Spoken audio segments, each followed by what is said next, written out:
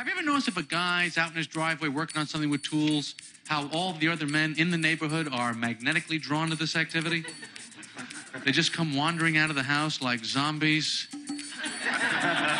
Man, it's true. Men hear a drill, it's like a dog whistle. Just. You know, they go running up to that living room curtain. Honey, I think Jim's working on something over there.